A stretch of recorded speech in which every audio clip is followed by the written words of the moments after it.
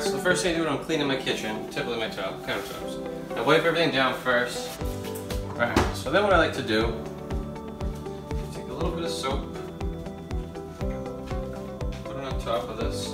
I do half and then the other half. So I do the first half, then I do that half, then I do the middle. So you get a sponge, get your sponge a little bit wet, right? What I like to do is take the water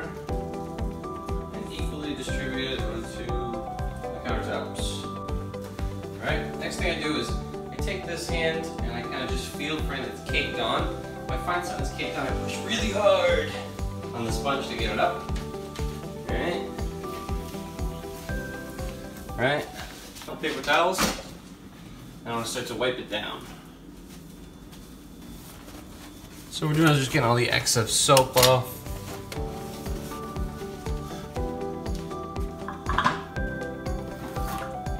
Last but not least, my favorite, the island.